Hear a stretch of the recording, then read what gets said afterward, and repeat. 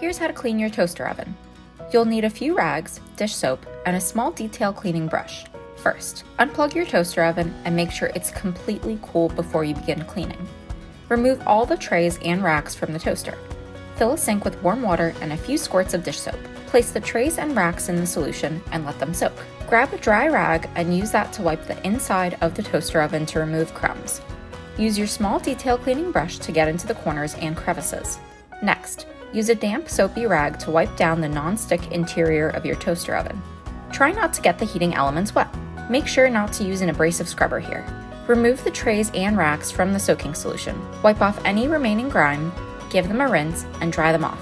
Make sure you dry them thoroughly before placing them back into the toaster oven. Don't forget about cleaning the outside of the toaster oven. Use a rag dampened with all-purpose cleaner or warm water and dish soap.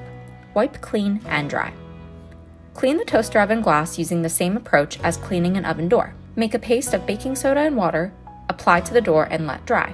Spritz with vinegar and wipe off.